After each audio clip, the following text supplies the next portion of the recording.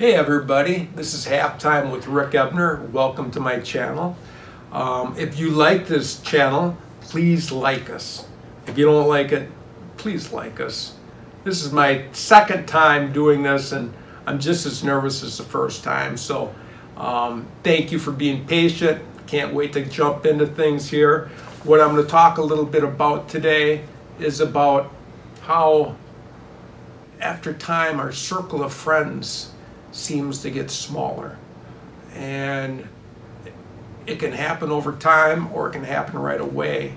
But you know what? We can have control over that. Being, you know, homebound pretty much. I mean, I get out and do things, but what I do now is I made adjustments to my home so I can welcome people to my home. I, I have a patio in the front yard now so I can have people come and have a fire pit and join me. And I don't have to worry about if I can fit into their home, if I can get up their ramps. I can now invite people to my home and we can have a great time.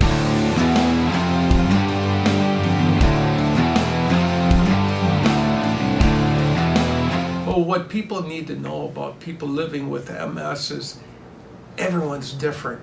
You know, it's like a snowflake. Every snowflake is different. Every case with MS is totally different. My sister Amy, uh, she was five years older than me. She had MS for roughly around the same amount of time. Her symptoms were totally different. You know, I, I spend my time with people that help build me up. I can't afford to be around negative Nellies. My, my, that, that is precious to me. I need people that are going to help build me up and not bring me down because MS and any kind of chronic disease is really driven by your emotions and how you're doing on the inside. And if you don't feel good on the inside and feel good about yourself and you're bringing outsiders in and they're not going to help support you, you have to cut ties. You have to let go of some people that just don't bring you up.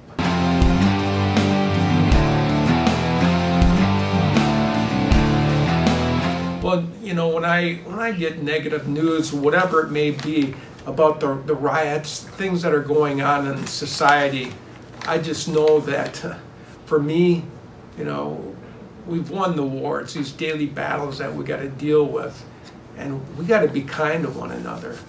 Um, that's what I feel is missing in this world is kindness and love and helping one another. And it's too, too much about me. And I think if we extend a hand uh, to other people, we're going to go a long way.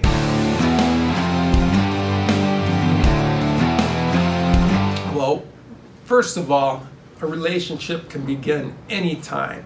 You know, for example, I'm in my in my power chair and I consider this a platform for me.